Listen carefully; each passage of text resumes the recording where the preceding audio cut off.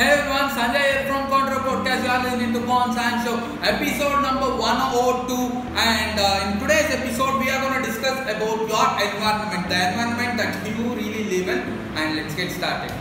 Cause we're Never gonna listen to be any advices. That's the advice that I want. to These are nothing but you practice, practice, practice. You'll become an expert one. Your network is your net worth. But uh, I don't know how to start. Just start.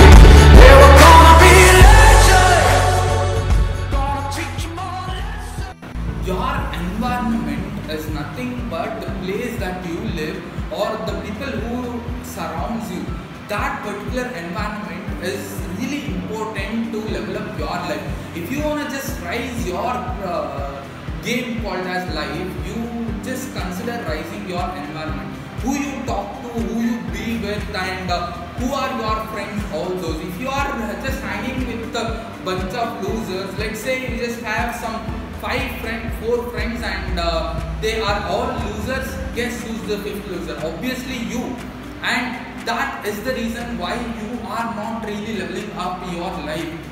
Just go out there, check out who are your friends, what are they really trying to do in your life, or what are they trying to do in their life.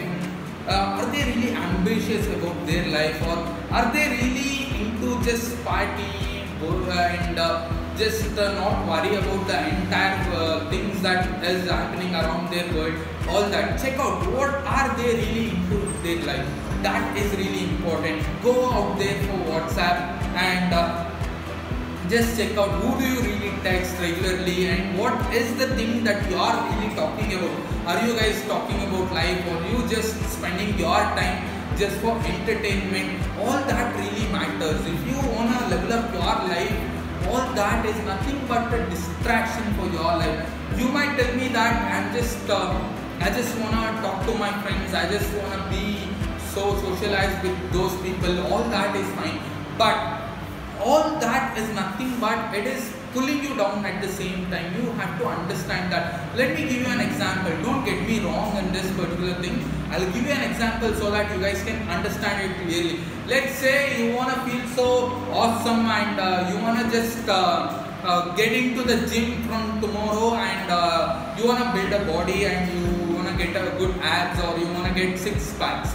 Uh, let's say you you have decided that you are doing that and uh, let's say you are starting from tomorrow again starting from tomorrow. You feel that and uh, what happens uh, suddenly your friend calls you and uh, asks you that hey bro let's get into uh, uh, what is it pizza let's go eat some pizzas. And uh, what happens you just go eat that during the weekend or he just asks you to go out there and party during the weekend and what happens uh, again when you wake up in the early morning you just have a bad appetite or uh, you just uh, be in an hangover. And that is nothing but a barrier and uh, your uh, wish that uh, you have wanted to join mm, the gym and you want to get a six packs or a good abs or a slim body. All that has been destroyed. Why? Because you couldn't even wake up in the early morning even though if you woke up you just had a hangover or you just have a bad appetite and that is the reason why your environment uh, influence you a lot and the social media too uh, you know while uh, I have uh, somewhere around 2700 contacts uh, I just usually text some one or two person that to my mentors, all those people.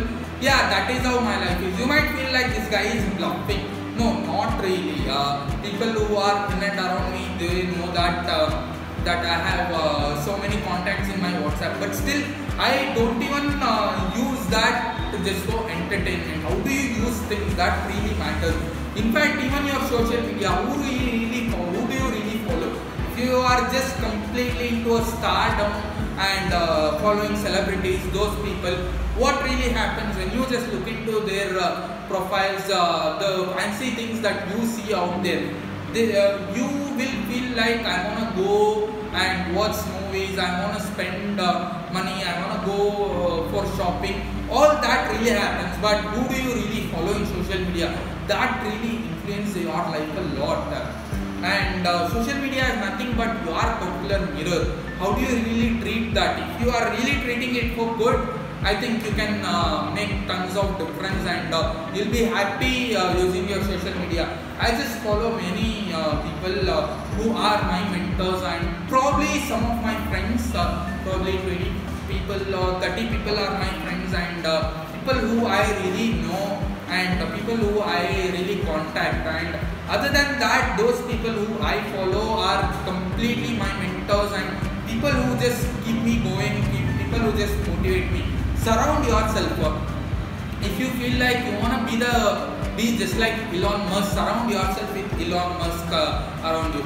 Uh, I know this sounds crazy but surround yourself with their books and surround yourself with their podcast their life story and the quotes that you have in and around your office and people who just uh, be with you how do you contact them? All that really matters a lot guys. Coming to the shout out huge huge shout out for uh, uh, Pranav Nambiar uh, who just commented on my uh, particular post. The post is over here go follow him on Instagram. He just commented on my uh, content saying that uh, the day when I left school, I started uh, learning. I, the day when I left school, uh, my education really started. That is what I really meant. Uh, and he just commented an awesome comment saying that uh, we have learned some things in school. We shouldn't forget all that. yeah, obviously we have learned many things in school. But according to me, uh, for me, I mean, uh, I'm a student and at the same time I didn't attend uh, school as much as people have ever done. I would take somewhere around uh, three months of summer holidays, uh, sorry, three months apart from the summer holidays. I would uh, take some leaves for my school. I would bunk my school somewhere around 40 days, 50 days in my entire annual, I mean, in one grade. That is how my school life was. That is how horrible my school life was. And maybe for people uh, who are good at school they love school a lot and they might have, they might feel like uh, school have taught them a lot. But for me i'm not offending you brother. I mean i'm not offending pranav here. But uh, people who love school they for them school is really awesome and uh, they feel like school is something very special. Whereas for me school was completely boring and at the same time I feel like uh, uh, school just failed me. I mean, uh, yeah, school failed me. I didn't fail school. Uh, school failed me and I don't wanna be in school just because uh, it has minimum value. It doesn't, te- it didn't teach me much value. That is the problem. I hate school and uh, yeah, probably I'll make another video about school system. I'll talk about it and uh, yeah, why not probably in my next video I'll just talk about schools. Uh, until then, it's me Sanjay signing off. Uh, drop your thoughts in the comment section. Bye.